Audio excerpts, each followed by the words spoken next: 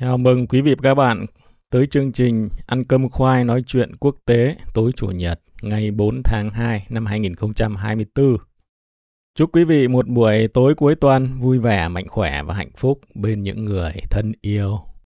Vâng, rất nhiều quý vị à, vẫn yêu cầu là Tết nhất thì vẫn ra video của quý vị.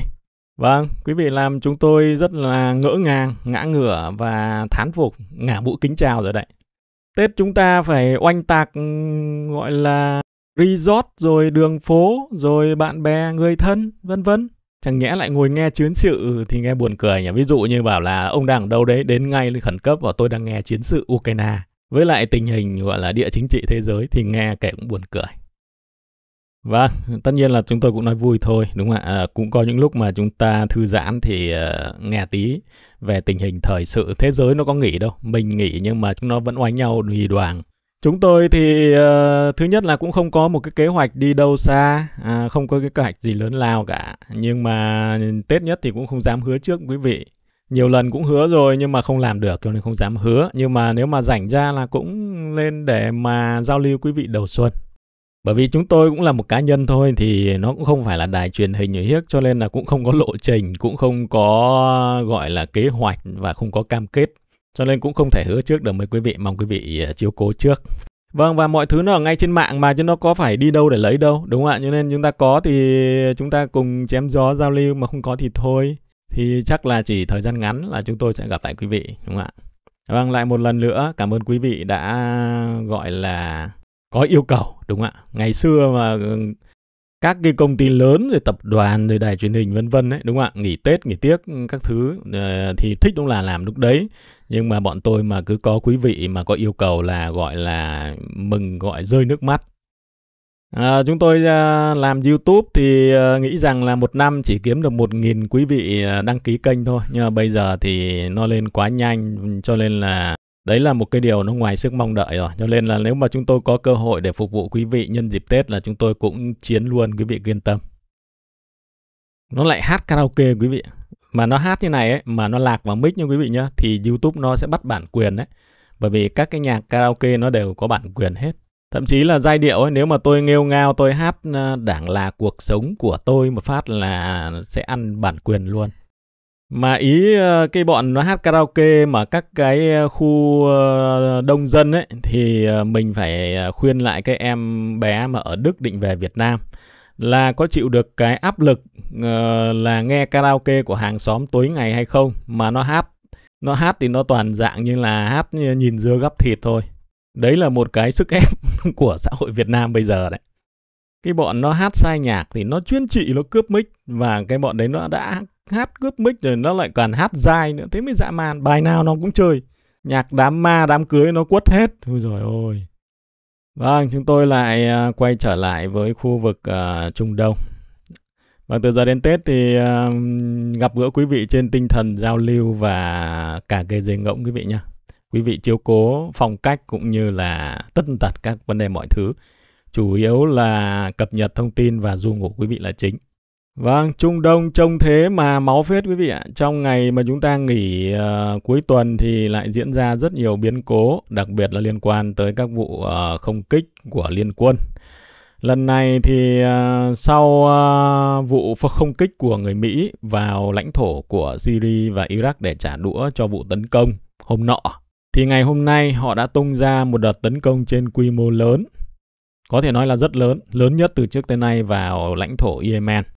Thông tin từ chính phủ Mỹ cho hay là liên minh do Mỹ dẫn đầu ờ, đã tiến hành một vụ tấn công 36 mục tiêu trên khắp 13 vị trí lãnh thổ Yemen vào ngày thứ Bảy, tức là ngày thứ Bảy của họ, Chủ nhật của ta, nhằm đáp trả vào ờ, những cuộc tấn công của phong trào Houthi uh, gây phương hại cho các hoạt động buôn bán đường biển cũng như là đòn tấn công nhằm gọi là giảm leo thang căng thẳng và bình ổn tình hình uh, hòa bình trong khu vực. Vâng. Quá hay, lại một lần nữa bom đạn của Mỹ lại giảm leo thang ờ, và đem lại hòa bình cho khu vực. Theo thông tin từ liên minh này cho biết rằng là các đòn tấn công nhắm đặc biệt vào các mục tiêu uh, chôn uh, đào sâu dưới lòng đất À, cụ thể là các kho đạn, các kho tàng, bến bãi, các kho tên lửa, các bệ phóng, các hệ thống phòng không và radar nhằm làm gián đoạn và suy yếu năng lực Houthi à, có thể gây ra đe dọa cái thương mại toàn cầu và cuộc sống của những uh, đại khái là những cái thủy thủ uh, vô tội trên đại dương. Đến cuối ngày thì ờ, người phát ngôn của Houthi nói rằng là một đòn tấn công của Liên quân An Mỹ đã nhắm vào 48 mục tiêu của chúng tôi trong suốt những giờ vừa qua. Cơ bản không gây phương hại đáng kể cho lực lượng của chúng tôi và những kiểu tấn công như này thì không làm cho chúng tôi nản lòng, không làm cho chúng tôi suy sụp tinh thần sức mạnh tinh thần và sức mạnh tôn giáo và quan điểm nhân đạo của chúng tôi đối với những người anh em Palestine ở giải Gaza, Gaza sẽ tiếp tục giúp chúng tôi đáp trả à, và khiến cho liên quân do người Mỹ dẫn đầu à, hứng chịu những tổn thất đau đớn. Như vậy là sau khi Mỹ đã tổ chức tấn công vào Syria Iraq trong một cái chiến dịch trả đũa thì ngay lập tức họ đã chuẩn bị một cái chiến dịch để bắt đầu ngay ở lãnh thổ của Yemen. Lần này đúng là trên quy mô cực kỳ lớn. Vâng, và nghe như có vẻ từ phía Yemen thì họ cũng chưa có ảnh hưởng gì đến cái nhuệ khí và năng lực của họ một cách đáng kể. Còn tôi tin chắc rằng nó cũng uh, có thể bị thiệt hại, đúng không ạ? Trong 24 giờ thì ờ, xung quanh diễn biến đó thì chúng ta không thấy hoạt động ờ, tấn công của Yemen nữa uh, cho đến thời điểm này. Như vậy thì ít nhiều đã ảnh hưởng tới cái khả năng đúng không ạ à, lên kế hoạch và tấn công của Yemen với lại tàu bè liên quan đến Israel trong khu vực. Quay trở lại cái diễn biến tấn công của Mỹ vào Iraq và Syria thì chúng ta sẽ có một chút những cái phân tích uh, theo chúng tôi tổng hợp được vòng quanh các cái uh, đại khái là các phát ngôn của các bên. Thì um, rõ ràng là chiến dịch của Mỹ đã xảy ra 5 ngày sau khi mà họ công bố là họ sẽ đáp trả đúng không ạ? Và như vậy thì với những cái người làm công tác kháng chiến như là cái nhánh uh, cái liên minh kháng chiến Hồi giáo, tất nhiên đó là một thời gian quá dài họ cần để có thể sơ tán kịp những cái mục tiêu quan trọng. Và như vậy thì à, người Mỹ chỉ còn cách mà tấn công vào những cái mục tiêu chống mà thôi. À, nếu không thì vào những cái căn cứ à, cơ sở của những cái à, nhóm quân mà đang chiến đấu với lực lượng IS mà vốn hậu thuẫn bởi thế lực nào đó. Mặt khác thì các quan chức của Lầu Năm Góc đã đe dọa họ sẽ tấn công trực tiếp vào Iran và những cái tài sản của Iran nhưng mà cơ bản cuối cùng thì đó là những cái lời đe dọa và nói dối ờ, không có bất kỳ một cái hành động tấn công nào của Mỹ liên quan tới Iran và đó chỉ là cái biện pháp mà người Mỹ thể hiện cơ bắp đối với lại công luận nước Mỹ và thế giới mà thôi. Hai bên đều hiểu rằng là cuộc tấn công vào lãnh thổ của nhau không mang lại bất kỳ một cái lợi ích nào mà nó sẽ gây ra tổn thất lớn cho cả hai bên và cho thế giới. Có nghĩa rằng họ sẽ đến một cái mức độ leo thang, đúng không ạ? À, chúng ta có thể dễ dàng bình luận về việc họ có thể đánh nhau nhưng mà nếu hai Mỹ và Iran đánh nhau thì câu chuyện nó rất khác có thể ảnh hưởng tới mâm cơm của chúng ta chúng không biết chừng Ngày nay thì Iran nó không còn là Iran 4 năm trước khi mà ông Donald Trump ông ra lệnh đánh bom, đánh tên lửa mà giết chết cái vị tướng Suleiman. Bây giờ kho vũ khí của Iran, đặc biệt là tên lửa hành trình, tên lửa đạn đạo, có đủ năng lực để tấn công và thậm chí hủy diệt các mục tiêu căn cứ quân sự của Mỹ ở toàn khu vực Trung Đông và đồng minh của người Mỹ. Và tất nhiên đó là một cái giá cực kỳ đắt. Đấy là mình chưa kể tới những cái lực lượng kháng chiến, họ có cả đống tên lửa UAV, vân vân và họ có quân trên bộ nữa. Nhìn chung là nếu họ bao vây đánh các căn cứ của Mỹ thì tổn thất của hai bên sẽ rất lớn.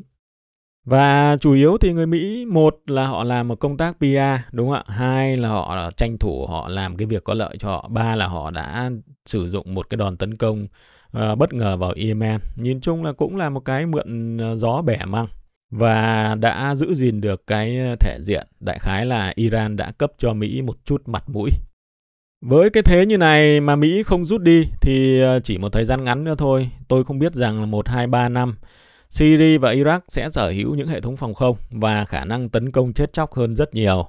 Lúc bây giờ chắc chắn Mỹ sẽ rất khó, đúng không ạ? À, có nghĩa rằng là trước sau gì họ cũng phải rút nhưng mà lúc đấy thì nó như kiểu là cái đặt cược của nó đã quá cao rồi. À, rất khó để cho Mỹ có thể giữ gìn mặt mũi à, vào cái thời điểm 1, 2, 3 năm sau. Đấy là chúng ta nhìn về khía cạnh chính phủ thôi, chứ còn nói thật ra mà quý vị để ý đây này. một cái ờ, UAV hoặc là một cái tên lửa của Yemen ấy trị giá của nó chỉ có vài chục nghìn đô ờ, ở mức cao nhất thôi nhưng mà quý vị biết rằng là một cái tàu ờ, khu trục canen của Mỹ nó bắn lên hai cái tên lửa để nó đốt một cái tên lửa ờ, dạng rocket ống nước của Yemen. Mỗi tên lửa trị giá 4,5 triệu đô la. Có nghĩa rằng nó đốt 9 triệu đô la một phát. Mà kiểu gì nó chả bắn hạ cái tên lửa ống nước đấy đúng không ạ? Mà đấy mới chỉ là những cái ống nước giả thôi chứ còn nếu mà tên lửa mà Iran hàng xịn sò nó chuyển cho không khéo của Trung Quốc của Nga nữa thì cũng chưa biết chừng chìm tàu nào không biết thế thì cái câu chuyện rằng là đối với lại uh, người đóng thuế của Mỹ thì chết đúng không ạ?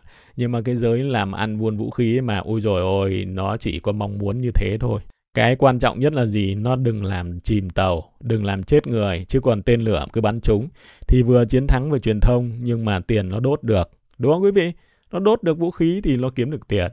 Cho nên chúng ta thấy chúng nó dùng toàn tên lửa 4 triệu mấy đô la một phát thôi. Tôi không nhớ cái tên lửa là tên lửa gì. Đáng lưu ý uh, trong cái nhưng mà không ngạc nhiên đó là vai trò của Jordan trong những cái sự vụ ở Trung Đông gần đây cho thấy rằng là vâng có thể nói nhiều người ở Trung Đông người ta gọi Jordan là kẻ phản bội với những người Ả Rập. Cái đấy ờ, phản bội không thì chúng ta không biết nhưng mà tất cả những cái việc mà Jordan đã làm kể từ khi mùng 7 tháng 10 đến giờ từ việc ngăn chặn những người dân của họ biểu tình phản đối Israel đúng không ạ rồi các nỗ lực ngoại giao ngăn chặn chuyện này chuyện kia rồi thỉnh thoảng thì góp vui một tí cho đến những việc là giúp Israel vận chuyển hàng hóa rồi cho đến những cái việc là uh, tham gia vào cái vụ đánh bom. Mặc dù chính phủ của nhà vua Jordan nói rằng họ không cử máy bay đánh bom, nhưng mà cơ bản thì ít nhất họ đã làm tất cả những công tác hậu cần, chuẩn bị và cho Mỹ đóng dày đặc Ờ, căn cứ quân sự này nọ vân vân ở lãnh thổ này. Cho thấy rằng là cái chính phủ của Jordan bây giờ cơ bản đang lụy người Mỹ rất nhiều, đúng không ạ? Và quý vị cũng ờ, không quên rằng là không chỉ Jordan, các tiểu vương quốc Ả Rập Thống Nhất và Ả Rập Xê Út có một cái dự án mà hiện nay người Ấn Độ và người Mỹ hứa là dự án vành đai gia vị sẽ đánh bại con đường tơ lụa của Trung Quốc khi mà dự án nó sẽ chạy qua các tiểu vương quốc Ả Rập Thống Nhất đúng không ạ từ Ấn Độ này nó mang các thứ nguồn hàng của Ấn Độ à, qua lại sang tới Jordan rồi quay qua cái giải Gaza lên khu vực Hy Lạp rồi qua Ban Căng rồi tới Tít Tìm Tịt ở khu vực miền Đông Bắc, Tây Bắc nước Pháp. Và dự án này trị giá nhiều nghìn tỷ đô, nếu mà nó đi vào thực hiện thì nó đổi đời rất nhiều lời thông qua rất những quốc gia thông qua lời hứa của ông Biden. Đúng không ạ? Và dự án đấy là một dự án mà nhiều người nghĩ rằng nó sẽ cứu sự nghiệp chính trị của Thủ tướng Moody, rồi thủ, uh, Tổng thống Biden và rất nhiều những nhà lãnh đạo ở khu vực này. Cho nên là cơ bản thì chúng ta thấy rằng cho dù nó là dự án ảo ma hay là dự án thật hoặc là nó khi bao giờ nó đi vào rồi hiện thực đi chăng nữa chúng ta cũng thấy rằng là những người lãnh đạo ở Trung Đông họ cũng rất trông chờ vào cái việc này. Nhất là mấy cái nước này thì trông cậy vào uh, nguồn lực uh, nguồn kinh tế trông cậy vào năng lượng dầu mỏ khí ga rất nhiều. Mà bây giờ thì thế giới càng ngày người ta càng phải bớt giảm phụ thuộc vào cái đó. Mà bây giờ họ có một con đường như này thì họ cũng có thể là đổi đời đúng không ạ? Cho nên là họ rất lụy vào mỹ điều đó ai cũng hiểu mặc dù là cả UAE và Ả Rập Xê Út thì đã xuất hiện ở trong BRICS với tư cách thành viên chính thức từ ngày 1 tháng 2 rồi nhưng mà tôi tin chắc rằng là các nước này sẽ ăn một cái cú lừa lịch sử Nước Mỹ có mấy cái đường tàu của họ họ còn chẳng xây được, đúng không ạ? Làm sao họ đi sang xây một cái đường tàu cho người Ấn Độ để sang châu Âu, chả phục vụ cái lợi ích gì cho người Mỹ. Nếu thực sự người Mỹ mà xây dựng những cơ sở hạ tầng phát triển thế giới như thế này để thế giới phụ thuộc vào họ, thì đó là một cái điều là rất đáng mừng. Thực sự thì người ta đã làm ngược lại. Đó là người ta đã xây dựng những căn cứ quân sự để làm cho thế giới phụ thuộc, thay vì là phát triển công trình. Cho nên là có rất nhiều lý do ờ, rất khó để tin. Một cái con đường mà nó lại lên thác xuống gành mấy lần như thế này thì đến được nơi chắc là hàng hóa nó cũng te tua hết rồi.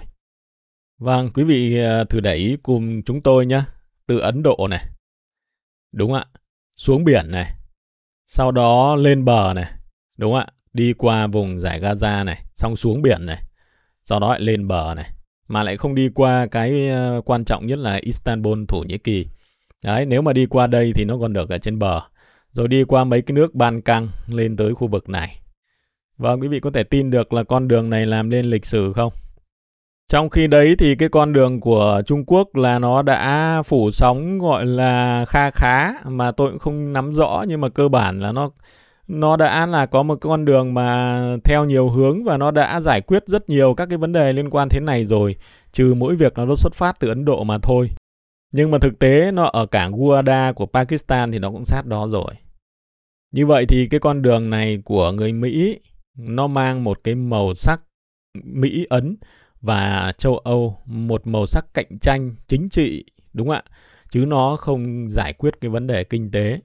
Vâng ở Việt Nam chúng ta quen với cái ngành bất động sản rồi, cho nên chúng ta có quyền để nghi ngờ, dễ lại dự án mà lắm quay trở lại vấn đề Jordan hôm nay chính phủ Iraq đã bày tỏ sự phẫn nộ và coi à, Jordan là một kẻ phản bội Iraq đã uh, gọi là treo đình chỉ tất cả các hoạt động xuất khẩu dầu trợ giá tới Jordan vì đã tham gia vào các cuộc tấn công trên đất của Iraq, mặc dù chính phủ Jordan đã từ chối sự tham gia của mình. Rất nhiều nguồn tin trên thế giới đã nhiều lần chứng minh Jordan đã từ rất lâu đâm sau lưng những người anh em Palestine và làm việc phục vụ lợi ích của Israel và người Mỹ. Thú vị nhất ấy quý vị ạ, thì uh, có thể nói rằng là cái sắc tộc của người Palestine hiện nay ấy thì uh, nó lại làm nếu mà có nói về cái việc mà nó nó máu mủ đậm đà nhất nhá thì nó lại chính là người Jordan và người Palestine với nhau. Ở Iraq 300.000 uh, ờ, chiến binh uh, những người mà thành lập lên cái lực lượng uh, cơ động của Iraq đã tuyên bố là Mỹ sẽ phải trả một giá cực kỳ đắt cho những đợt tấn công vào lãnh thổ của họ. Và lần đầu tiên thì ờ, cánh quân Khalid al-Fayyad đã yêu cầu sự rút lui của người Mỹ khỏi vùng đất ừ, lãnh thổ của đất nước này. Như vậy là người Mỹ có vẻ là đang càng ngày càng tụt dốc trong cái kiểm soát cũng như là ảnh hưởng của khu vực Trung Đông. À, với cái chính sách ủng hộ cho Israel một cách gọi là thiên vị và mù quáng. Và họ vẫn tiếp tục gieo rắc những sự bất ổn trong khu vực và những đòn tấn công vừa qua thì nhiều người trên thế giới học giả nhận định rằng nó là một cái hòn đòn đánh những đòn đánh thể hiện sự tuyệt vọng và sự trượt dốc của một cái quyền lực đang uh, vâng suy tàn của nước Mỹ tại Trung Đông cũng như trên thế giới. Tôi nghĩ rằng người Iraq sẽ không tha cho những gì người Mỹ đã làm với đất nước của họ. Có thể khẳng định một điều như vậy. Người Afghanistan thì người ta không có cơ hội để người ta báo thù, nhưng mà rồi cũng đến một ngày. Còn người Iraq, người ta chắc chắn người không, không thể bỏ qua được, đúng không ạ? Cho nên người Mỹ mà còn các căn cứ ở Iraq, Syria thì kiểu gì người Iraq họ cũng chiến tới cùng. Chúng ta thấy rằng là các chính phủ như Jordan, một vài chính phủ khu vực vùng vịnh thì họ vẫn còn à, đi theo người Mỹ để mà có những cái quyền lợi này, lợi ích kia. Nhưng mà ở Iraq thì bây giờ cái ảnh hưởng của Trung Quốc, uh, Trung Quốc xây dựng ở đấy hàng chục nghìn ngôi trường quý vị ạ. Ảnh hưởng của Nga đấy cũng rất nhiều thì có nghĩa rằng Iran lại là ảnh hưởng tuyệt đối nữa. Thì những cái đất nước mà là họ đã cái cái ảnh hưởng của người Mỹ đã mất dần ấy thì cái sự kháng cự với người Mỹ nó càng ngày nó càng tăng và nó rất khó để đảo chiều. Vâng, chúng ta sẽ quay trở lại khu vực Palestine. Như vậy là ngày hôm nay thì uh, chính phủ Mỹ đã thông báo về việc là hạ viện của họ sẽ tụ tập để mà trong tuần tới uh, biểu quyết để thông qua cái gói viện trợ 17,6 tỷ đô la uh, viện trợ không hoàn lại cho Israel. Tất cả những gì người Mỹ làm ủng hộ Israel trên nhiều phương diện đã dẫn tới việc họ đang càng ngày càng thất thế ở khu vực Trung Đông và à, đối mặt với một cái nguy hiểm là họ bị trục xuất khỏi khu vực này. Ảnh hưởng địa chính trị của họ ở khu vực này sẽ suy yếu, đồng petrodollar suy yếu và tất nhiên là đế quốc Mỹ sẽ suy yếu theo. Thế nhưng mà họ cũng vẫn tiếp tục ủng hộ cho Israel một cách vô điều kiện ở đây chúng ta thấy là một điều tương tự đã xảy ra ở Mỹ, ở Ukraine và ở ở Palestine. đó là cái thế giới ngầm thế giới tài việt vũ khí nó bất chấp cái lợi ích của quốc gia đúng không ạ? Để nó thúc đẩy những cái khoản chi tiêu khổng lồ liên quan tới việc buôn bán vũ khí. Mặc dù nhắm mắt lại chúng ta cũng nhìn thấy mỹ đang thua một bàn thua trông thấy mà một bàn thua quyết định ở khu vực này. Thế nhưng mà cuối cùng thì cái ác đã thắng quá sớm.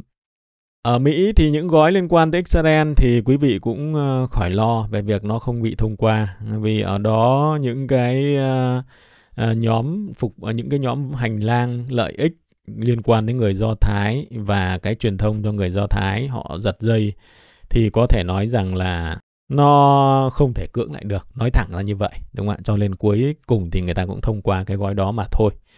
Bây giờ thì người Ukraine còn phải tìm cách học hỏi những người Do Thái làm thế nào mà canh làm tài thế. Và bây giờ họ đang chuẩn bị xây dựng những cái lực lượng như vậy. Tiền của châu Âu đổ vào Ukraine sẽ biến sẽ thành lập đến những nhóm lobby châu Âu. Tiền Mỹ đổ vào Ukraine cũng ngược lại như vậy. Tổng thống Ukraine là một người Do Thái, chắc chắn ông ấy cũng sẽ không lạ gì những cái cách làm của người Do Thái để tạo được cái ờ, sự hậu thuẫn uh, và gọi là mình gọi như nào nhỉ? Gọi là đứng trên vai người khổng lồ nhưng mà thực tế là dắt mũi người khổng lồ đúng không ạ? Để đạt được những mục tiêu địa chính trị đối với lại những người do thái và đất nước do thái. Những ngày cuối tuần thì ở Palestine đặc điểm là những người ờ, dân của Israel đã tràn xuống đường vào khu vực cửa khẩu ở khu vực biên giới giữa Ai Cập và giải Gaza. Họ chặn đứng tất cả những cái đưa đoàn xe cứu trợ mà gần như những đoàn xe đấy là cái nguồn cung duy nhất đối với lại người dân ở giải Gaza đang đông đặc ở khu vực phía miền Nam.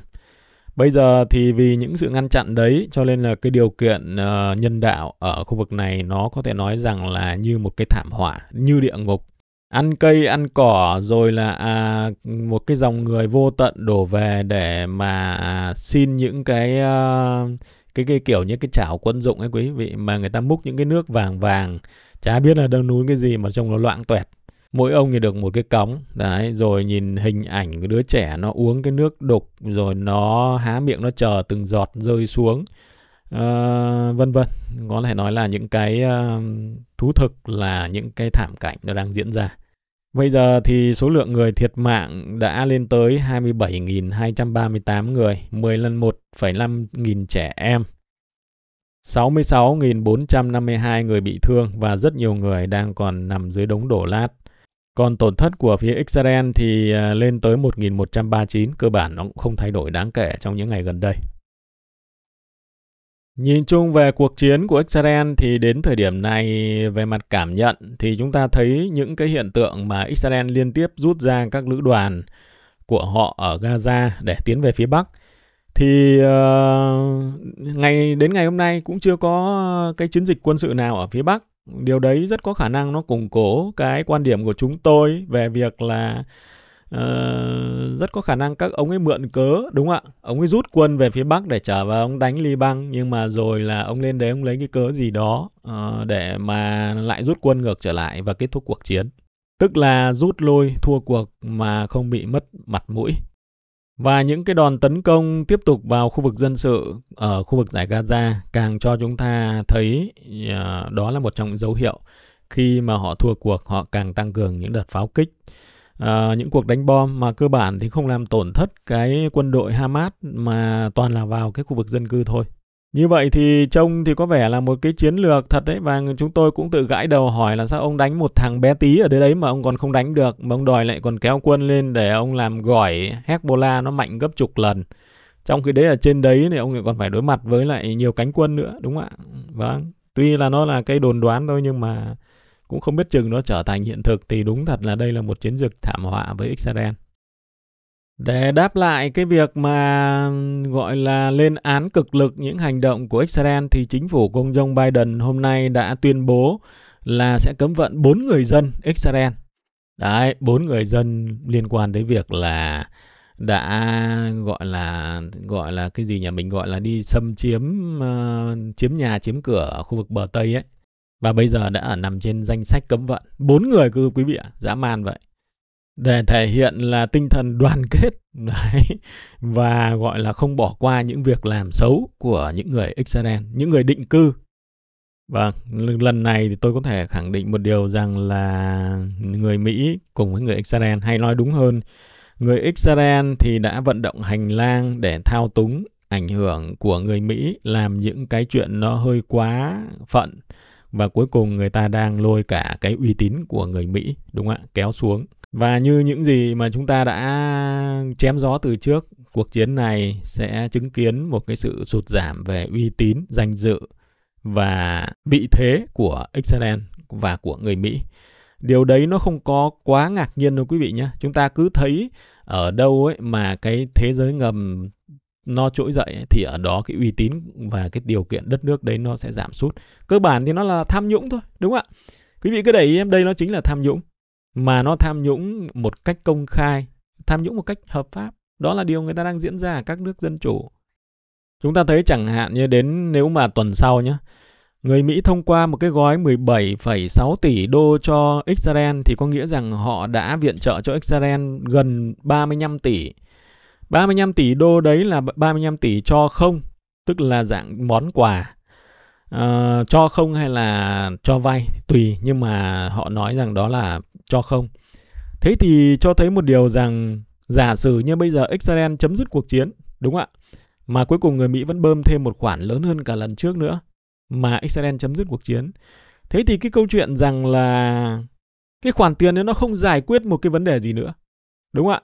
nó không giải quyết cái vấn đề gì nóng cho cuộc chiến nữa theo cái tinh thần của cái gói nóng như vậy giả sử như nói về việc tái thiết thế này thế này kia thì chúng ta còn có thấy nhưng mà rõ ràng đây nó không phải là vấn đề như vậy như vậy thì chúng ta lại chứng kiến một lần nữa đúng không ạ vì những cái lợi ích của những cái giới gọi là tài phiệt vũ khí mà cái quốc gia của họ sẽ người dân của họ sẽ phải chịu đựng cái số phận Vâng, đó là tất cả những gì cơ bản uh, diễn biến chính diễn ra ở toàn bộ khu vực Trung Đông trong ngày cuối tuần.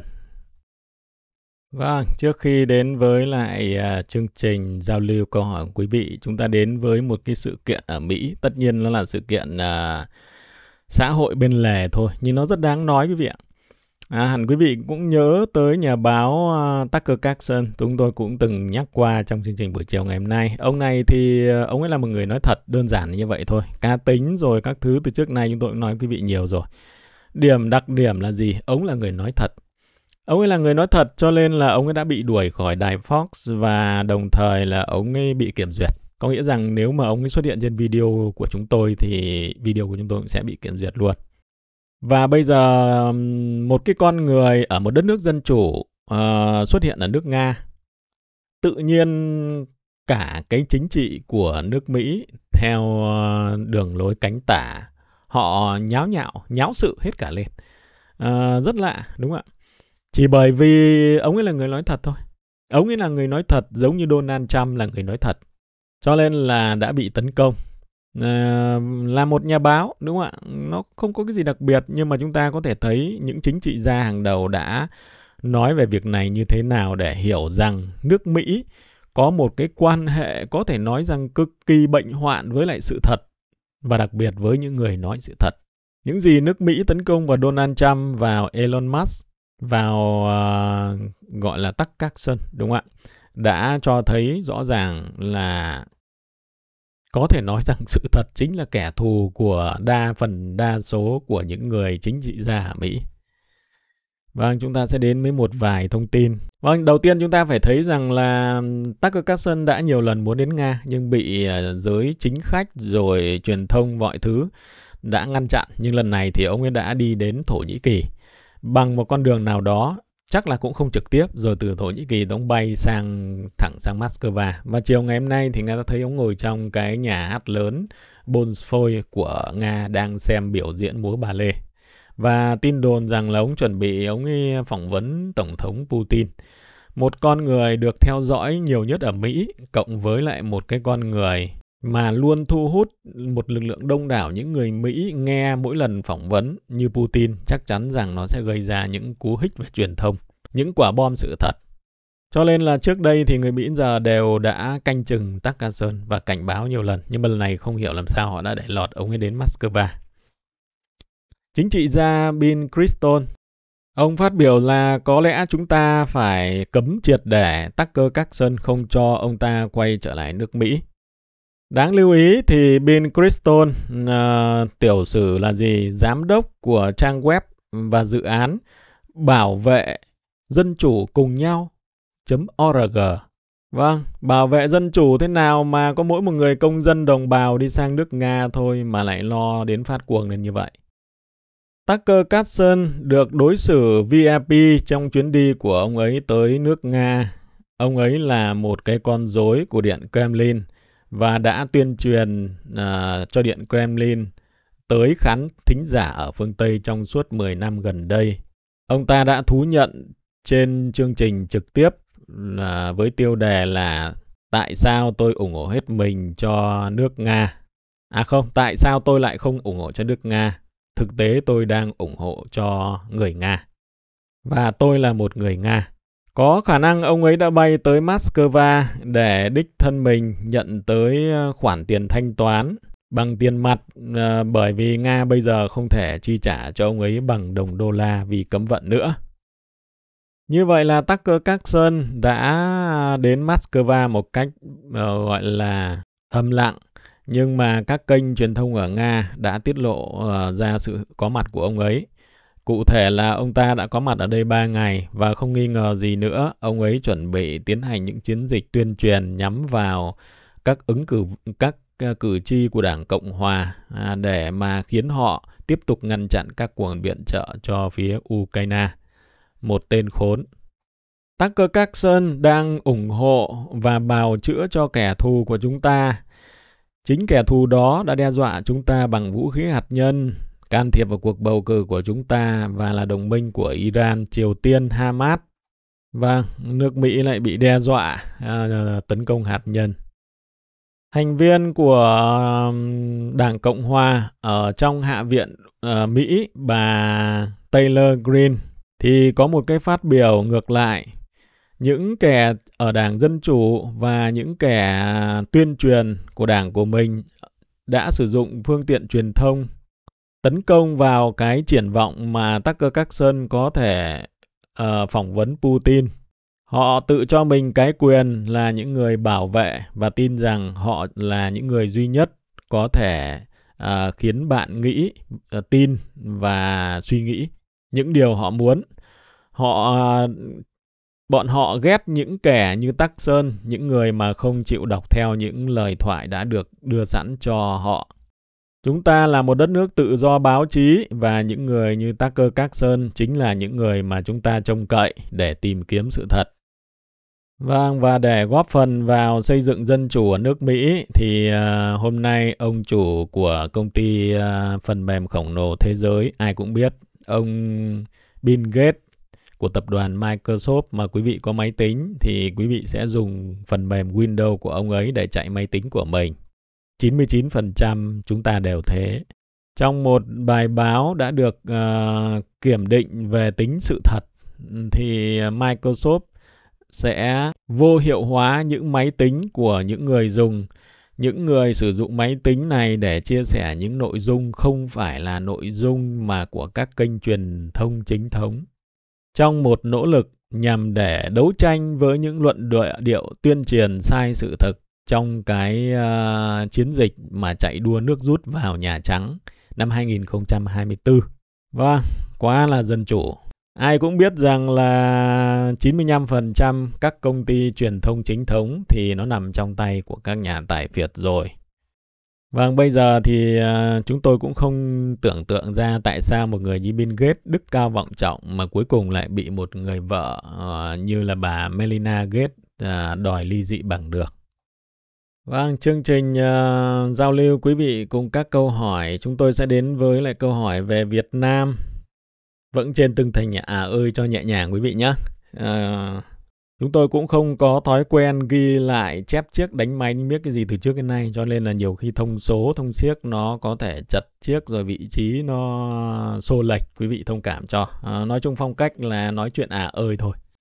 Câu chuyện ờ, liên quan đến Việt Nam là một câu hỏi của một anh nói rằng là ừ, Việt Nam thì sẽ phải đối mặt với thách thức gì để trở thành một cường quốc của khu vực châu Á giống như Nhật Bản, Hàn Quốc.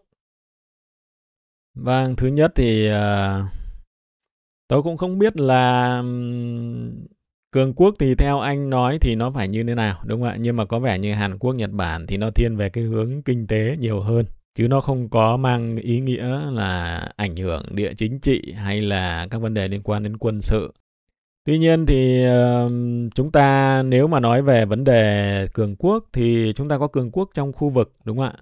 À, trong khu vực thì uh, khu vực nhỏ chúng ta có vực uh, Đông Dương rồi là chúng ta là cường quốc số 1 rồi, khỏi nói làm gì.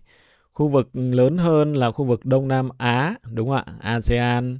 Khu vực lớn hơn nữa là khu vực châu Á và khu vực lớn hơn nữa là khu vực thế giới thì à, chúng ta có lẽ là thay vì nhắm đến à, cái à, cường quốc châu Á chúng ta nhắm đến cái Đông Nam Á đã đúng không quý vị?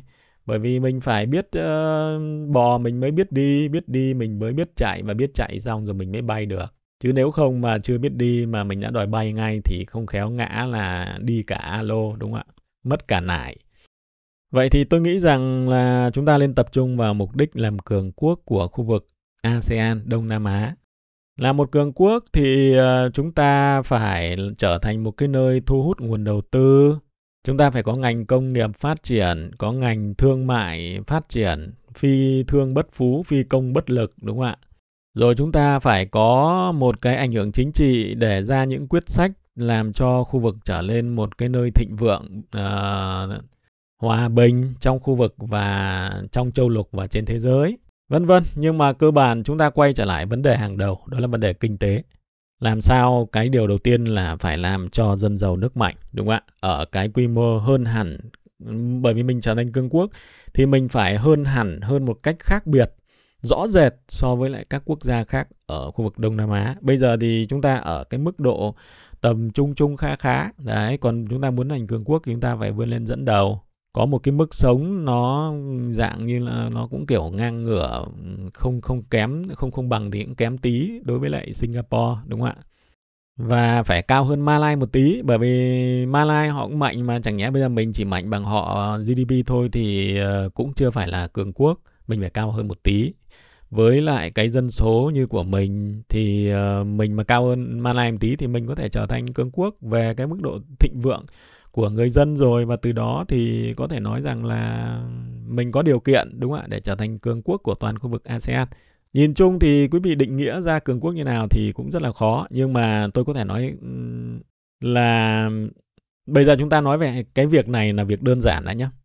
À, cường quốc định nghĩa như thế nào thì nó dễ đúng không ạ? Và Việt Nam có tiềm năng hay không? Hoàn toàn có. Nhiều người nói rằng là chúng ta không có lý do gì chúng ta không thể trở thành một đất nước như Hàn Quốc. Thậm chí còn hơn rất nhiều bởi vì tiềm năng của chúng ta hơn Hàn Quốc. Đúng không quý vị? Cho nên về mặt tiềm năng thì ờ, tất nhiên là có. Nhưng mà cái yếu tố, yếu tố bên ngoài ấy thì tôi nghĩ rằng nó rất là quan trọng. Đây mới là điều mà nó đáng nói trong cái vấn đề này. Còn làm thế nào thì ờ, để cái câu chuyện của những nhà quản lý chiến lược vân vân làm. Nhưng mà tôi nói về cái đúng cái câu mà anh hỏi có nghĩa là điều gì mà có là những cái vấn đề mà thách thức đối với Việt Nam? Hàn Quốc trông thế thôi nhưng mà chúng ta để ý một điều rằng ấy, Hàn Quốc mà không có Mỹ ấy, thì Hàn Quốc cũng không bao giờ ngóc đầu lên được.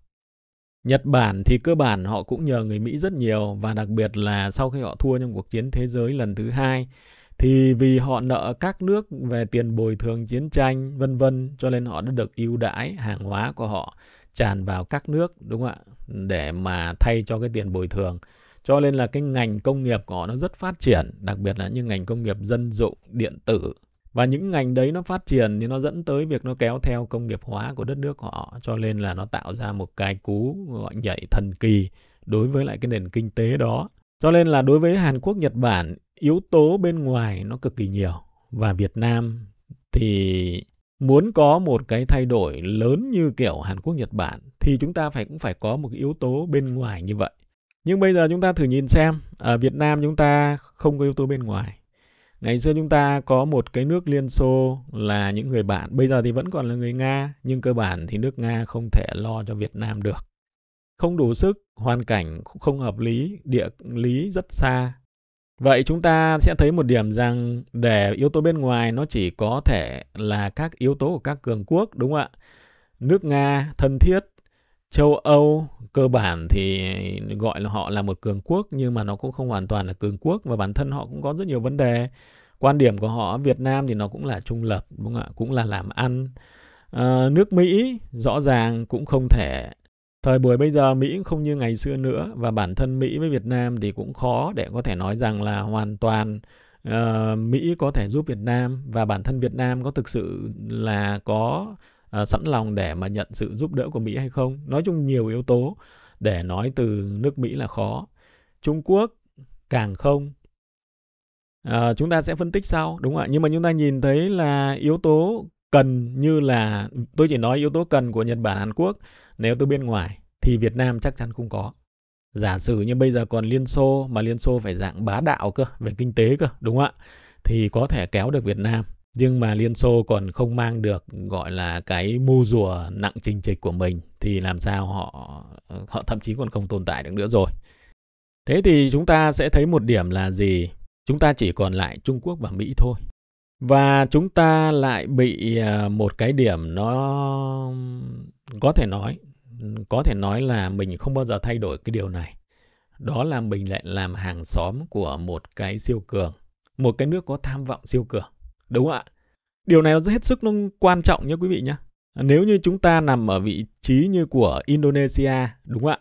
Thì nó không không có vấn đề gì quá lớn đâu. Đấy, nhưng mà cái mà nó nó đáng nói nhất là chúng ta lại nằm cạnh Trung Quốc và Trung Quốc và Mỹ lại là hai cái cực siêu cường. Đối lại nó lại vấn đề nó lại đối kháng với nhau. Trung Quốc với Mỹ đối kháng với nhau về kinh tế như thế nào thì họ đối kháng với Nga về vấn đề địa chính trị như vậy, quân sự như vậy. Và nói như thế thì quý vị có thể hình dung ra rồi, tất cả những nước ở biên giới của nước Nga, đúng không ạ? À, bây giờ chúng ta đang nhìn thấy đều là chịu cái tác động chính sách của Mỹ để làm phương hại nước Nga và đều có thể nói đang đã và sẽ đối mặt với lại những cái tương lai rất mù mịt. Đúng không quý vị? À, đều liên quan tới các vấn đề binh đao máu lửa. Bởi vì sao? Bởi vì kẻ thù của người Mỹ về địa chính trị và quân sự là người Nga. Đúng ạ. Cho nên là người Mỹ đối kháng với người Nga bằng những cái cuộc chiến tranh, những cuộc xung đột xung quanh biên giới của mình. Còn kẻ thù của kinh tế của người Mỹ là người Trung Quốc. Người Trung Quốc thì lại thiên về vấn đề kinh tế và tất nhiên là địa chính trị nữa. Nhưng mà địa chính trị mang yếu tố kinh tế, còn của người Nga mang yếu tố quân sự. Đúng không ạ? Thế thì người Mỹ cũng sẽ làm mọi cách để mà lôi kéo uh, Việt Nam về phía Mỹ là trong cái kịch bản mà nó tuyệt vời nhất. Đúng quý vị? Thì Việt Nam sẽ thuận theo Mỹ uh, trở thành liên minh của Mỹ chúng ta phải phân tích vào những cái cái cái um, ham muốn mục tiêu của các cường quốc nhé đúng nhé. Tất nhiên là chúng ta nhìn thấy Việt Nam với Nga thì tất nhiên là họ rất muốn rồi đúng không ạ? Họ rất muốn chúng ta trở thành đồng minh nhưng rõ ràng họ không có thể làm thế và chúng ta cũng rất khó à, và chúng ta đồng minh với Nga thì nó cũng chảy giải quyết cái vấn đề gì tại thời điểm hiện tại cho cả hai bên cho nên là chúng tôi đã nói là chúng ta mặc dù thế giới nó tam cực nhưng mà cái câu chuyện việc Nga với Việt Nam bây giờ thì nó không có một cái sự ve vãn ác liệt đúng không ạ và bản thân người Nga thì nó cũng khá là vẫn trung lập trong các cái vấn đề là họ có những cái độc lực lớn ở Việt Nam nhưng mà Trung Quốc với Mỹ thì hoàn toàn khác. Chúng ta đang nói về Mỹ, kịch bản mà tuyệt vời nhất Đối với Mỹ nha quý vị nhé, chúng ta chưa nói về Việt Nam, thì động lực của Mỹ là muốn Việt Nam trở thành đồng minh của Mỹ. Ông Biden khi trở về từ Việt Nam trong năm vừa rồi, ông đã nói rằng chiến thắng ngoạn mục vì đã lôi kéo được Việt Nam trở thành đồng minh đứng về phía Mỹ, đúng không ạ? Và có ngầm ý nói rằng là đồng minh với Mỹ để chống Trung Quốc. Còn kịch bản mà có thể nói tồi tệ nhất với người Mỹ là Việt Nam trở thành đồng minh của Trung Quốc. Đúng ạ, và điều đó chắc chắn người Mỹ sẽ không bao giờ bỏ qua, không bao giờ cho phép, đúng ạ. Như vậy thì rõ ràng ở phía người Mỹ, người ta sẽ chấp nhận một cái kịch bản đã từng xảy ra ngày xưa, à, đó là không ăn được thì phải đáp đổ. Ờ, và tất nhiên thì nó cũng sẽ, người ta sẽ cố gắng mà không biến mình trở thành đồng minh, người ta sẽ biến mình trở thành một đất nước như Ukraine. Mục tiêu thì cũng giống như là họ mong muốn chuyện đã xảy ra với lại Nga mà thôi. Còn về Trung Quốc thì cơ bản bản thân Trung Quốc cũng muốn biến chúng ta trở thành một đồng minh. thân cận của họ, đúng không ạ? Và kịch bản xấu nhất thì chúng ta lại trở thành đồng minh của Mỹ và kịch bản mà có thể nói là trung dung chấp nhận được thì tất nhiên nó cũng sẽ có một cái sự uh, xung đột trên lãnh thổ của chúng ta. Nhưng cái yếu tố chúng tôi đang nói ở đây nó là gì? Yếu tố người Mỹ là một người bạo lực. Người ta muốn là xung đột để làm cho đối thủ suy yếu thông qua mũi tên hòn đạn, lưỡi đao và họng súng. Còn người Trung Quốc là người thiên về kinh tế, cho nên người ta muốn nếu như mà mình mà không thuận theo họ, đúng không ạ? À, hoặc là mình nghiêng về đối thủ thì cơ bản là lúc bấy giờ người ta sẽ muốn một cái cuộc xung đột và đòn bẩy của Trung Quốc là đòn bẩy về kinh tế, đòn bẩy của Mỹ là đòn bẩy về lưỡi gươm. Như vậy là chúng ta có bối cảnh của hai cái đất nước này, đúng không ạ? Quý vị để ý không ạ? Một bên nó là dùng gọi là quyền lực cứng, một bên là dùng quyền lực mềm, đúng không quý vị? Tất nhiên đây là chúng ta phân tích để chúng ta hiểu cái vấn đề à, nó mang tính chất cơ bản quý vị nhé. Chứ còn nó có nhiều vi tế trong đấy và có những điều chúng ta không biết đúng không ạ? Nhưng mà chúng ta hiểu cái bản chất, cái à, thiên phú của hai cái cường quốc này là người Mỹ thì sử dụng quyền lực cứng, bom đạn đúng không ạ? Và các kiểu để chơi xấu. Đấy. Còn người Trung Quốc thì người ta sử dụng cái quyền lực mềm và cái sức ép kinh tế để mà gây ảnh hưởng với lại uh, các nước khác trong đó đặc biệt là các nước lân bang mà các lân bang của Mỹ Trung Quốc thì cái mục tiêu quan trọng hàng đầu đó chính là Việt Nam. Trung Quốc và Mỹ thì đều coi Việt Nam là đặc biệt bởi vì tại sao? Bởi vì Việt Nam đã đang và sẽ không bao giờ quỳ gối. Tức là chúng ta sẽ không đi theo một cái nước này đúng không ạ để chống nước kia. Chúng ta đi theo cái đường lối độc lập và tự chủ, tự do bởi vì chúng ta ngả về bên nào thì chắc chắn rằng bởi vì như chúng ta nói đó chúng ta là một nước đặc biệt đúng không ạ? Chúng ta từng đã chuyện xảy ra chuyện binh đao rồi bởi vì cái vấn đề này rồi. Đúng không quý vị? Cho nên là đó là vấn đề đương nhiên rồi đấy. Bây giờ cái chuyện liên quan đến kinh tế Trung Quốc thì nó cũng kiểu kiểu như vậy. Cho nên là cái câu chuyện nó đã xảy ra rồi. Cho nên là chúng ta không thể chọn một trong hai nước để làm gọi là đồng minh và quay lưng lại với nước kia. Chúng ta như vậy chúng ta bắt buộc phải trung lập đúng không ạ? Vậy thì uh, bây giờ trung lập thì chúng ta thấy một cái vấn đề là giả sử như chúng ta ở một đất nước ở Thái Bình Dương thì chúng ta trung lập cả hai nước sẽ ok. Đúng quý vị. Uh, chúng ta mãi mãi như thế. Thế nhưng mà cái câu chuyện về mặt địa chính trị mà nói ấy, bây giờ chúng ta bỏ cái tên Trung Quốc, Nga và Mỹ đi ấy thì chúng ta sẽ thấy một cái vấn đề của địa chính trị là gì? Là các nước lân bang thì người ta tìm khi yếu người ta tìm cách người ta ve vãn à, người ta hỗ trợ giúp đỡ đúng không ạ? Để cái đất nước đấy nó nó khá giả lên. Để mà người ta có một thị trường có một vùng đệm có một người bạn vân vân. Thế nhưng chỉ đến một thời một cái cái cái mức độ nhất định cho quý vị nhé và Việt Nam đến cái mức độ đấy rồi đúng ạ Việt Nam đến cái mức độ đấy rồi thì một đất nước mà là một siêu cường hàng xóm của chúng ta không bao giờ cho phép Việt Nam trở lên một cái đất nước mà gọi là hùng cường.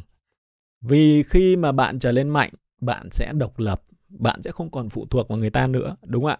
Bạn sẽ khó bảo, bạn sẽ khó bị đe dọa, bạn sẽ khó bị ve vãn, bạn sẽ khó bị uh, tấn công, nói chung là không kiểm soát được đặc biệt là một nước láng giềng, đặc biệt là một đất nước như Việt Nam thì không chịu cúi đầu, không chịu quỳ gối thì chắc chắn là một cái đất nước không bao giờ người ta dễ dàng cho Việt Nam hùng cường. Tôi không nói là Việt Nam mà tôi không nói là Trung Quốc mà tôi không nói Mỹ hay Nga, tôi nói tất cả các nước trên thế giới về mặt quy tắc nó đều như vậy. Có nghĩa rằng là khi nào thật yếu, người ta nuôi lớn để người ta tận dụng, lợi dụng. Đúng không ạ? còn đến khi nó lớn quá thì người ta phải kiềm chế đấy là một cái nguyên tắc gọi là tối giản trong các bàn cờ địa chính trị mà chúng ta không đưa các tên nước vào để chúng ta tránh cái chuyện nhạy cảm và Trung Quốc có như thế không? Tôi nghĩ rằng là chắc chắn là có, đúng không ạ? Thứ nhất là chắc chắn họ có, bởi vì đấy là một cái quy tắc của tất cả các siêu cường thế giới. siêu cường nào cũng vậy. À, đối với Trung Quốc tôi nghĩ là càng như vậy. Họ có làm được không? À, tôi nghĩ rằng họ có rất nhiều cơ hội để làm. À, không chỉ với Việt Nam mà với thế giới chúng ta biết rằng bản thân người Mỹ bây giờ muốn quay lưng với lại kinh tế về vấn đề Trung Quốc không quay lưng được, không lật đổ được. Bởi vì nếu lật đổ bây giờ Mỹ đau hơn Trung Quốc rất nhiều. Các nước như Đài Loan, Hàn Quốc, Nhật Bản có muốn quay lưng với Trung Quốc, muốn lật đổ cũng không lật đổ được. Người dân ở Trung Quốc ở trên mạng thì người ta nói như thế này là chúng ta sẽ tạo ra một cái ngành công nghiệp mạnh đến mức độ mà các nước lân bang của chúng ta và các nước trên thế giới muốn ừ, công nghiệp hóa đất nước thì phải suy nghĩ kỹ rất nhiều. Có nghĩa rằng là à, người ta đăng những cái ảnh mà thương nhân của Việt Nam sang Trung Quốc một cái đoàn dài tắp chân trời mỗi ông kéo theo hai ba cái ba lô mà to gấp mấy người à, kéo đến cửa khẩu chờ để mà thông quan vào trong biên giới những cái uh, thành phố thâm quyến Thượng Hải, Quảng Châu uh, dài bất tận. Hỏi bà tại sao là các ông không sản xuất lấy mà mua bán trong nước? Người ta trả lời bảo là ở Trung Quốc nó sản xuất ra nó rẻ quá, nó hiệu quả quá, nó nhanh quá. Và ở nước các nước khác nó không sản xuất để đạt được một cái quy mô như vậy. Ở Mỹ cũng thế, Ấn Độ cũng vậy, Thổ Nhĩ Kỳ cũng thế và tất nhiên Nga cũng vậy. Có nghĩa rằng rất nhiều nước đã thử, đúng không ạ? Nhưng mà gặp rất nhiều khó khăn. Đấy là một sự thật nha quý vị nhé. Quý vị bình luận mà chúng ta có cái ý mà uh, không có, có có đồng tình ấy, thì chúng ta đưa ra cái phân tích đúng không ạ? Chứ chúng ta đừng có phủi tay. Đấy là một cái sự thật đấy. Uh, có video và có cả phỏng vấn. Thế thì bây giờ chúng ta phải thấy rằng là Trung Quốc đấy là quyền lực mềm đúng không ạ uh, quyền lực đấy thì người ta không cần phải làm gì xấu cả người ta chỉ cần phát triển cái công nghiệp của họ ở mức độ kinh khủng thôi thì nó sẽ khiến cho tất cả những cái nước láng giềng và thậm chí láng giềng xa cũng phải gọi là lụy tới cái ngành công nghiệp của Trung Quốc rất nhiều. Bởi vì làm ăn thì phải là lợi nhuận, đúng không ạ? Lợi nhuận thì nó phải xét về vấn đề chi phí, hiệu quả, chất lượng hàng hóa, vân vân, thời gian.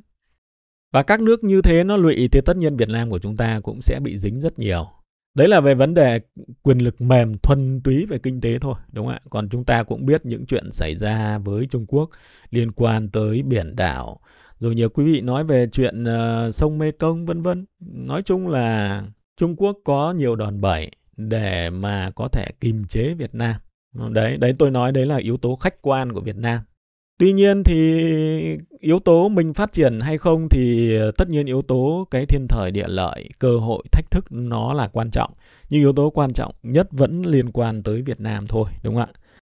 Và tất nhiên thì với những cái sức ép như vậy thì chúng ta phải cố gắng hơn rất nhiều. À, như tôi đã bắt đầu bằng câu ờ, trả lời rằng là chúng ta có đầy đủ tiềm năng. À, không biết là thành cường quốc châu Á hay không, nhưng mà thành cường quốc trong khu vực thì tôi nghĩ rằng hoàn toàn có thể. Vậy làm thế nào để trở thành cường quốc? chúng ta phải thoát ra khỏi cái bẫy, bẫy thu nhập. Làm thế nào để thoát ra khỏi bẫy thu nhập? Chúng ta phải công nghiệp hóa đất nước. Muốn công nghiệp hóa đất nước thì cơ bản là chúng ta phải có một cái nhà máy điện hạt nhân. Đúng ạ? Ờ, như là nhà máy uh, sản xuất chip Intel của Mỹ nó hủy dự án bởi vì nó bảo là Việt Nam không đủ điện. Mà đúng là điện Việt Nam thì không phải là thiếu nhưng mà nó phập phù mấy cái thằng bạn của tôi có tí tiền ấy cũng đi lên Sơn La rồi các thứ để tìm kiếm cơ hội đầu tư nhà máy thủy điện mà quý vị có nghĩa rằng là nó đại khái là nó rất là nháo sự đúng không ạ cho nên là chúng ta phải có một cái nguồn điện nó mạnh nguồn điện mạnh nó sẽ tăng tốc sản xuất của đất nước lên nhiều chục phần trăm nhất là với một đất nước chưa có nhà máy điện hạt nhân bao giờ. Chúng ta cứ để ý xem mấy ông Đức ấy uh, thích không khí xanh sạch đẹp bây giờ cắt đi mấy máy nhà máy điện hạt nhân cái bị phi công nghiệp hóa ngay. Nhiều yếu tố khác nhưng mà yếu tố đấy rất quan trọng. Như vậy là cái điều cốt lõi là nó phải có như vậy. Còn thứ hai nữa là cái đất nước của chúng ta nó phải đào tạo nó phải uh, cố gắng đúng không ạ nó phải thay đổi các vấn đề liên quan tới giáo dục thực tế rồi vân vân nói chung những cái đấy thì tôi nói nó là sáo ngữ quý vị ạ tôi chỉ có thấy một cái điểm là nước ta phải có nhà máy điện hạt nhân thì mới công nghiệp hóa nó hiệu quả được còn nếu có công nghiệp hóa được nhưng nó không được đạt được một cái mức tiềm năng to lớn để mà giúp chúng ta ừ, phá vỡ cái rào cản 2.0, 3.0, 4.0 đúng không ạ? Tức là nó không đột phá. Đấy, như tôi nói quý vị là nó có mức 1 2 3 4 5 nó phải đột phá ra thì chúng ta mới tạo tiến lên một cái bước tiếp theo. Ở bước đấy chúng ta mới tạo ra phá được cái thế vỡ cái cái cái bẫy thu nhập đúng không ạ? Đời sống nó mới người dân mới từ cái thu nhập thấp trở lên mức thu nhập bình uh, quân bình. À mà chúng ta gọi là trung lưu đấy tức là đất nước mà muốn giàu lên thì cái tầng lớp trung lưu nó phải nhiều. Tầng lớp trung lưu nhiều thì nó lại chi tiêu nhiều để nó kích cầu. Kích cầu thì chúng ta lại có thể đầu tư để đột phá lên được cái tầng mới hơn. Còn nếu không thì chúng ta không bị thắt nút cổ chai, đúng không ạ? Nó không qua được cái đó mà cái điểm quan trọng nhất nó vẫn phải là cái sức sản xuất ở trong nước. Làm sao để có thể sản xuất được cạnh tranh được với Trung Quốc? Một là chúng ta chờ chi phí sản xuất của nó quá cao khi đời sống của nó quá giàu nó không chịu sản xuất nữa đúng không ạ? Nhưng mà bây giờ Trung Quốc nó đầu tư vào máy móc tự động rất nhiều thì chờ đến thời điểm đấy không biết đến bao giờ cho nên chỉ còn cách là chúng ta có tham vọng có cái gọi là khao khát trở thành cường quốc ấy, thì chúng ta phải cố gắng thôi. Đúng không ạ. Cái gì người ta nói rằng là ăn cơm bò à, à, ăn cơm cái ngáy o o ăn cơm bò ngon lo ngay ngáy đúng không ạ? Chúng ta muốn muốn uh, hùng cường thì chúng ta cũng phải có một cái cố gắng nó tương xứng với lại cái hùng cường đó đại phú ờ, do thiên, tiểu phú, do cần. Việt nam chúng ta thì tiểu phú rồi, chúng ta cần cù rồi và chúng ta cũng tích được cái này, tích được cái kia rồi. Nhưng mà bây giờ chúng ta muốn giàu to thì chúng ta phải có những cố gắng nó lớn hơn rất nhiều, đúng không ạ? Nó phải ờ, tương xứng. Và người của chúng ta làm làm sao đấy nó phải hiệu quả như các nước ờ, như là Singapore chẳng hạn. Chúng ta phải máy móc công nghiệp như người Hàn Quốc, Nhật Bản chẳng hạn vân vân và chúng ta phải sáng tạo. Bởi vì nói về tại sao phải sáng tạo? Vì nếu không sáng tạo chúng ta sẽ phải lặp lại những gì người Trung Quốc làm. Uhm, ông Trương Gia Bình ông ấy nói rằng là ở Trung Quốc hỏi Trung Quốc có cái gì Việt Nam không có uh, Việt Nam có mà Trung Quốc không có không? Bảo là chỉ có mỗi cái mâm thôi là ở Trung Quốc nó không có thôi. Có nghĩa rằng là Trung Quốc nó có rất nhiều thứ. Như vậy thì Việt Nam muốn làm được công nghiệp hóa được thì mình vừa phải có nhà máy điện mình phải có nền tảng cơ sở tầng nhưng mà mình phải sáng tạo nữa, chứ không phải là Trung Quốc nó cứ làm gì thì mình làm theo như vậy. Có nghĩa rằng nó rất cố gắng, đúng không ạ? Phải cố gắng từ vấn đề giáo dục, từ vấn đề xây dựng tính kỷ luật, tính công nghiệp vân vân. Nói chung là tôi nghĩ rằng cái đấy đi vào sâu thì tôi cũng không phải là cái thế mạnh của mình. Nhưng mà tôi thấy một cái vấn đề rất quan trọng là phải có cái cơ sở hạ tầng và cái nền tảng gọi là năng lượng trong đó cái năng lượng uh, nhiên liệu hóa thạch cộng với lại cái năng lượng ờ, điện trong đó cái điện nhà máy điện hạt nhân. Còn nền tảng thượng tầng đó là những cái tư duy đúng không ạ của các doanh nghiệp người dân rồi những cái uh, cái tính cách của một cái đất nước mà uh, hùng cường một đất nước uh, như quý vị nói thì nó phải tương xứng. Chứ còn mình uh, là những người mà mình uh, giải đãi đúng không ạ mình thích uh, thanh thản thành thơi thì chắc chắn là mình không thể nào mình trở thành cường quốc được. Cái giá của cường quốc là gì? Rất nhiều người hàn quốc muốn tự tử người nhật cũng vậy. Đúng không quý vị? Ừ, đấy nó không phải là chuyện nó nó hoàn toàn nó tách rời đâu đó là chuyện nó liên quan đến nhau rất nhiều. Có nghĩa là con người người ta phải làm việc người phải sáng tạo phải căng ra tất cả mọi thứ căng thẳng cả xã hội dẫn tới những cái tỷ lệ và những cái hiện tượng uh, bệnh lý xã hội nó càng ngày nó càng tăng còn chúng ta bây giờ mình đang buổi sáng mình đang có giấc mơ gọi là triệu phú nhưng mà chưa làm hết buổi sáng. Thằng bạn nó bảo là ra chọc tí bia rồi anh em đi hát karaoke. Có quán này mới hay lắm. Xong rồi trưa anh đặt nhà hàng chỗ này có mấy con cá này cá kia cá 45 50 cân. Ôi rồi ôi quẳng hết giấc mơ giấc mơ cha pi đi ngay giấc mơ karaoke. Đúng không quý vị? À, chúng ta Việt Nam còn nhiều trường hợp như vậy. Những người xung quanh ta như thế rất nhiều. Vâng, như vậy thì ờ, ý chúng tôi nói một điều là gì? Là tiềm năng thì có sẵn, đúng không ạ? Con đường thì nói thật một người như tôi hình dung những như thế thì chắc là các cái vị lãnh đạo liên quan đến kinh tế cũng không khó để nghĩ ra những thứ nó chi tiết hơn. Nhưng mà cái câu chuyện ấy thì chúng ta phải để ý một yếu tố ở bên ngoài nó rất nhiều, nó rất quan trọng, đúng không ạ? Chúng ta phải vượt qua được những cái thách thức như vậy tức là không phải vượt qua mà chúng ta phải phải hóa giải hóa giải được cái thế trận địa chính trị. Đó là các nước như Nhật Bản, Hàn Quốc mà anh lấy ví dụ ấy. Thì ngày xưa nó nhờ đồng minh rất nhiều để và nhờ cái hoàn cảnh ngày xưa rất nhiều để nó được như ngày hôm nay. Đúng ạ? Và đất nước nó phải trả giá rất nhiều. À, con người của nó phải trả giá rất nhiều bằng cuộc sống riêng tư để nó được trở thành một cái cường quốc kinh tế. Cho nên Việt Nam của chúng ta bây giờ thì hoàn cảnh nó nhạy cảm hơn ngày xưa rất nhiều.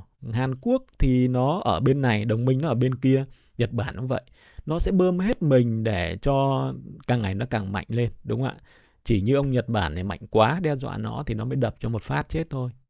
Chứ còn Việt Nam của chúng ta à, ở vị trí như này thì chúng ta sẽ với cái tính cách và cái lựa chọn con đường của chúng ta là con đường trung lập thì chúng ta sẽ chịu sức ép rất nhiều và cái cửa để mà đi lên phát triển ấy, nó luôn bị dòm ngó. Chúng ta chỉ có một khe hẹp thôi, có nghĩa là cái ánh sáng nó lách phát qua, chiếu qua chúng ta phải lách mình qua cánh cửa đó thì chúng ta sẽ, gọi là, lên thần. Ý tôi nói, chúng ta chịu rất nhiều sức ép, đúng không ạ? Kể cả nhá, kể cả như bây giờ tôi nói đơn giản như là chúng ta muốn trở thành hoàn toàn đồng minh của Trung Quốc đi. Bởi vì chúng ta là hàng xóm với họ mà, đúng không ạ? Thì bây giờ Việt Nam của chúng ta cũng đã đến một cái mức độ là nó nó đủ mạnh để mà Trung Quốc họ không muốn chúng ta phát triển mạnh hơn nữa. Như tôi nói vấn đề thôi. Nó là vấn đề địa chính trị thôi chứ nó mình không nói là nó người xấu hay người tốt. Đúng không ạ? Là mình mạnh lên thì mình sẽ độc lập, mình sẽ không phụ thuộc vào người ta nữa. Câu chuyện nó đơn giản như vậy thôi. Ờ, bạn để ý rằng là rất nhiều người nói với tôi là chúng tôi là chúng tôi muốn Trung Quốc ừ, nó bị chia rẽ thành nhiều nước. Chúng tôi muốn Mỹ chia rẽ thành nhiều nước. Mình cũng muốn người ta bị chia rẽ như thế mà. Đúng quý vị? Nhiều người nói là, là chúng tôi không muốn là Trung Quốc chiếm Hồng Kông, chiếm Đài Loan. Bởi vì như vậy thì nó mạnh hơn. Đúng ạ, mình có quyền nghĩ như vậy thì nó cũng có quyền nó nghĩ như vậy đối với mình. Mình không thể trách nó được. Như vậy là chúng ý nói như vậy là chúng ta không thể trông trông chờ vào thế lực ngoại bang để mà có thể thành lột xác được, trở thành cường quốc được. Mà tất nhiên là chỉ có trông cậy vào cái sự cố gắng của người dân mình thôi, đúng không ạ? Có nghĩa rằng là cái sức ép của một cái đất nước siêu cường hàng xóm, nếu như Việt Nam chúng ta quá yếu thì người ta sẽ giúp chúng ta. Nhưng mà chúng ta mạnh lên rồi, có nhiều thứ chúng ta đã bắt đầu có một tí cạnh tranh với họ rồi, đúng không ạ? Đấy và vừa cạnh tranh nhưng vừa mạnh lên thì nó sẽ độc lập thì rõ ràng là ảnh hưởng tới cái cái cái lợi ích của họ, đúng không ạ? Cho nên là người ta sẽ không muốn mình giàu mạnh lên. Đấy là cái chuyện hết sức tự nhiên đấy nhé quý vị nhé chứ mình đừng có lên án người ta vội. Chỉ có điều là người ta có làm gì làm phương hại tới mình vi phạm luật pháp quốc tế hay không thôi, đúng không ạ? Cho nên đấy là điều tự nhiên.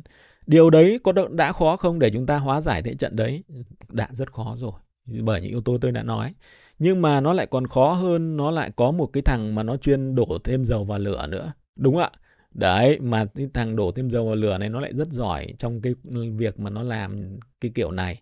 Mà nó đã từng đổ dầu vào lửa rất thành công ở nhiều cái khu vực nổi lửa khác rồi. Cho nên là cái cái câu chuyện thách thức của chúng ta nó lại càng khó hơn. Và như vậy chúng tôi chỉ nói về cái thách thức theo cái góc nhìn của tôi với tư cách mà quý vị để ý tới một cái yếu tố mà tôi luôn nhắc đi nhắc lại đấy là một cái bàn cờ địa chính trị. Nó không có chuyện tốt xấu, nó không có chuyện đáng tin hay không đáng tin.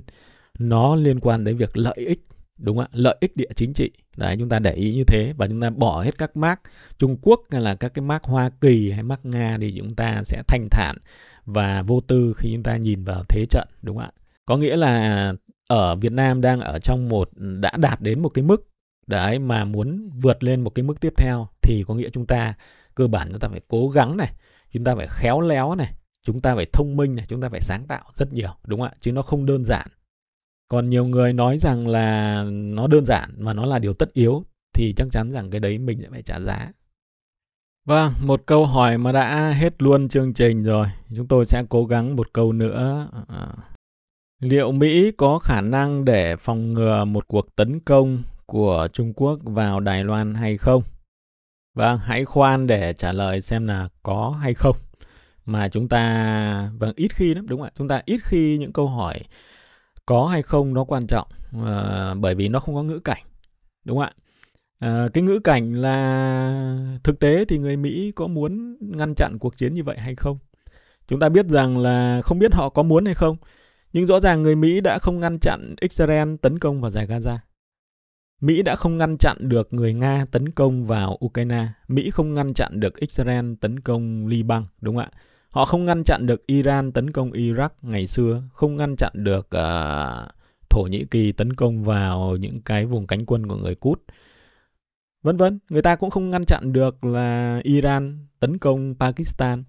Người ta không ngăn chặn được uh, Bắc Triều Tiên bắn tên lửa xuống Nam Triều Tiên. Và Mỹ cũng không ngăn chặn được Houthi tấn công vào tàu bè ở biển Hồng Hải.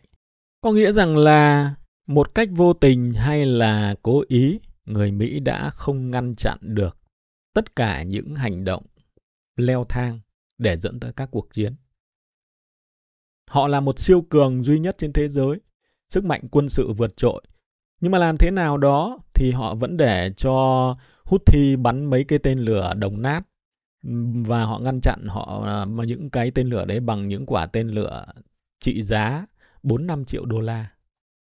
Họ không ngăn chặn được khi mà bất kỳ có một cái hiện tượng sự kiện gì liên quan tới các cuộc chiến, các cái cuộc xung đột thì các chính khách của họ đã lên tiếng là phải san phẳng, làm bốc hơi rồi xóa sổ, vân vân, đúng không ạ? Có nghĩa rằng là chúng ta không biết rằng chúng ta không nên trả lời rằng người Mỹ có ngăn chặn được hay không, mà cái câu chuyện rằng chúng ta nên hỏi họ là có muốn ngăn chặn hay không. Mà như tôi nói quý vị, nước Mỹ là một nước nghiện chiến tranh. Bởi vì họ nghiện từ cái việc là chính chiến tranh thì đất nước của họ mới duy trì được vị thế siêu cường. Đúng không ạ? Như vậy thì nếu như họ ngăn chặn chiến tranh thì có nghĩa rằng là nếu nói như vậy thì không khác gì là hỏi họ là họ có khả năng để tự hủy hoại đất nước họ hay không. Đúng quý vị? Tất nhiên là hủy hoại trong ngoặc kép. Bây giờ cả các nguồn vốn của đất nước, rồi những nỗ lực, rồi những cái vận động hành lang nó đều dồn hết vào các cái tổ hợp công nghiệp quốc phòng. À, thậm chí cả những quỹ ngày xưa chuyên đầu tư khoa học công nghệ bây giờ cũng đổ vào các công ty sản xuất vũ khí, đúng không ạ? Thì có nghĩa rằng là mình tưởng tượng như nước Mỹ như là một cái đất nước mà cung cấp dịch vụ uh, cứu hỏa duy nhất trong vùng mà là một công ty tư nhân. Mà cái vùng đấy nó không hề có cháy nổ, hỏa hoạn gì, thì tất nhiên là cái công ty đấy nó sẽ phá sản sớm.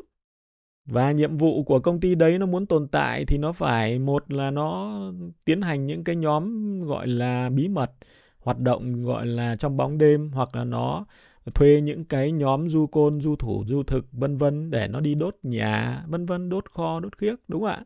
Vâng, chúng tôi nói như thế để nó dễ hiểu thôi, còn cơ bản dịch vụ cứu hỏa thì đều do nhà nước người ta quản lý. Như vậy thì câu trả lời ngắn gọn có nghĩa rằng là tôi không biết họ có thể ngăn chặn được hay không. Tất nhiên là có cái có, có cái không. Nhưng nếu họ là một siêu cường duy nhất thì có nghĩa rằng họ có khả năng, đúng không ạ? Hầu hết các cuộc chiến họ có khả năng, trừ một vài cuộc chiến liên quan đến Nga với Trung thì rõ ràng là cái đấy họ cũng đụng với lại siêu cường khác. Còn đâu là họ sẽ có khả năng. Nếu như họ chơi tới bến Thế nhưng mà mình phải đặt ra ngược lại cái câu trả lời đó là thực sự họ có muốn làm như thế hay không. Và câu trả lời thì chắc chắn nó sẽ là không. Vâng, cảm ơn quý vị đã dành thời gian theo dõi chương trình. Hẹn gặp lại quý vị trong những chương trình tiếp theo và chúc quý vị một đêm cuối tuần ngon giấc.